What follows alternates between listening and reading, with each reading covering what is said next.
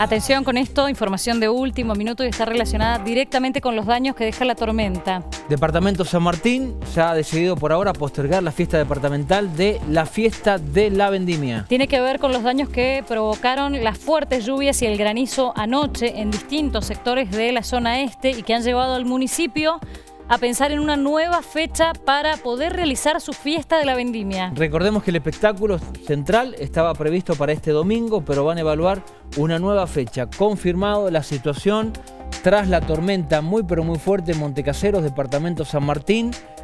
El municipio ha decidido hace algunos minutos postergar la fiesta departamental de la vendimia. El espectáculo central estaba previsto para este domingo, este fin de semana, pero la situación realmente es muy triste también en San Martín, en Montecaseros. Y ha complicado, por supuesto, la tarea de la gente que estaba organizando este evento. La verdad es que la tormenta de anoche ha dejado una multiplicidad de complicaciones y tenemos que decir que sobre todo, por ejemplo, en la zona de Montecaseros, haciendo el relevamiento de los daños, se habla de cerca de un 80% de daño en los cultivos, sobre todo en los viñedos. Estamos en comunicación con el intendente de San Martín.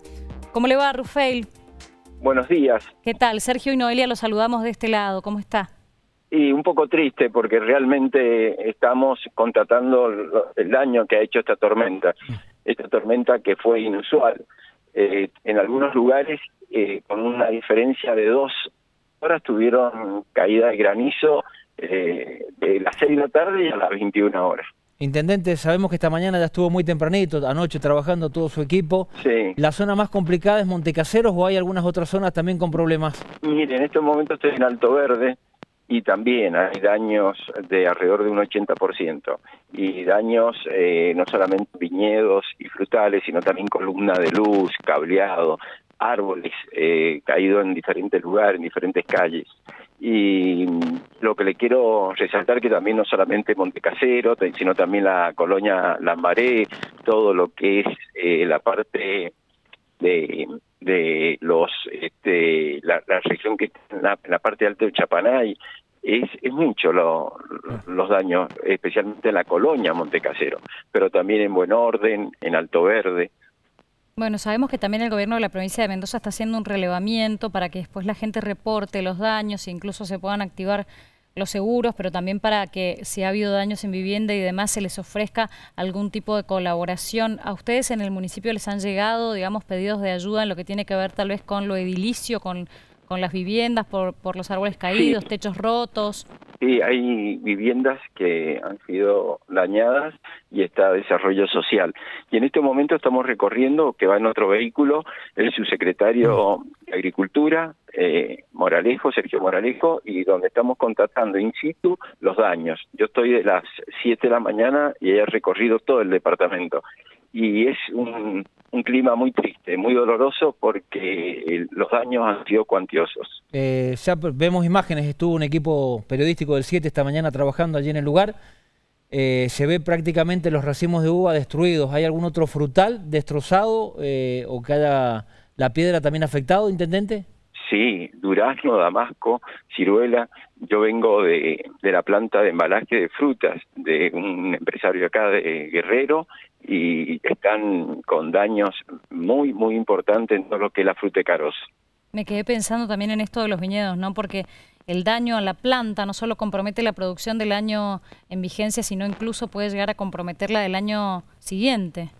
Sí, eh, tienen daños significativos en los, en los sarmientos y eso trae aparejado para el año que viene menor producción. Intendente, ya tienen la fecha de la, de la fiesta de la vendimia, ¿qué van a hacer? Porque era este domingo, pero van a tener que postergarla. Sí, se suspendió y la vamos a postergar. Todavía no tenemos una fecha exacta.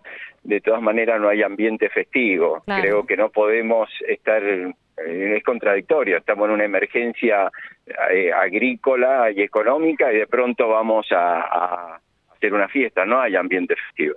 Intendente, la última pregunta de mi parte, ¿cómo sigue su agenda con eh, la atención a los distintos sectores productivos de Carozo y también de, de la uva ahí en San Martín? Primero que nada tenemos que contratar y ser bien específico y detallado los daños, porque es muy grande la zona afectada, pero usted con el radar eh, detecta toda la longitud y la cantidad de hectáreas, pero hay que ver qué parte está cultivada y qué parte está dañada. Es muy grande la, el área afectada. Muy amable. No, por favor, estamos hablando alrededor de 5.000 a 6.000 hectáreas. Ahora hay que ver qué parte es la cultivada. Gracias, Intendente. Que tenga buen día o, dentro de lo que se pueda, buen día o buena tarde eh, y se pueda asistir a la gente lo más rápido posible. Muy amable, muy gentil. Gracias. El intendente del departamento San Martín, y recién le contábamos que un equipo periodístico del 7 estuvo trabajando, Julián Chávez y Raúl Salazar, allí en la zona este, en la zona de Montecaseros. El intendente nos decía Durazno, Damasco, Ciruela y también la uva totalmente destruida por la piedra de anoche. Esto decían los productores de San Martín esta mañana. Esto fue como tipo un semolino que venía con piedra. Y bueno, y el daño que ha hecho acá no es tanto, pero en varias partes que ha sentado ha sido bravísimo. Y bueno, lo que los queda ahora es esperar que no vuelvan estas tormentas, porque hemos visto que esto es el sacrificio de un año. En seco primero la piedra, después vino la lluvia y después el ventallón, que fue lo que ha roto tantos árboles y, bueno, hay caídas por todos lados. Daño sobre la planta tenés un 40%, 50% en parte. Eh, ahora a esperar que esto de curar las enfermedades y tenés por zona acá 5 kilómetros, tenés otra parte que también ha hecho más daño que para acá, porque ha sido como, como te digo, es como un remolino lo que ha pasado. Al pegar en el, racimo, eh, produce que el racimo se empieza a podrir, ¿viste? Y ahí es donde está la otra pérdida también, a partir de lo que ya ha hecho la piedra. Entonces, se pierde mucho. Y la poda también, para la, la, poda que viene, tiene que andar ahora sufriendo, buscando el sarmiento que esté lindo para poder podar. ¿Sí, no? ¿Algún sarmiento que ha inhabilitado por el golpe? Claro, por el golpe, sarmientos rajados, cargadores que se rajan, viste, la misma piedra lo que la ha golpeado. O sea, te puede afectar esta cosecha y te puede afectar la del año que viene. Y la próxima también te la afecta. Te la afecta.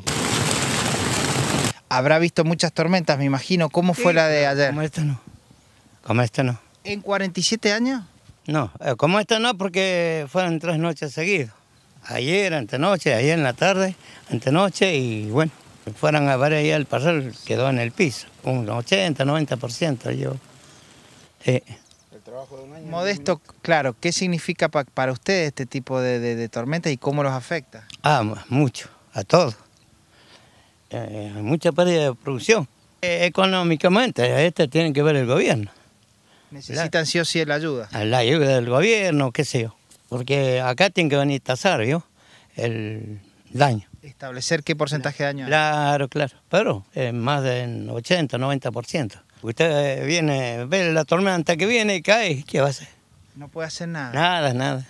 Eh, los aviones tampoco responden. Pues los aviones pasan cuando ya fue el daño caído, digamos. Ya va, va estos, últimos tormentas, no se vieron los aviones. El daño que hace pierde el dueño, perdemos nosotros y el valor también pierde en la producción.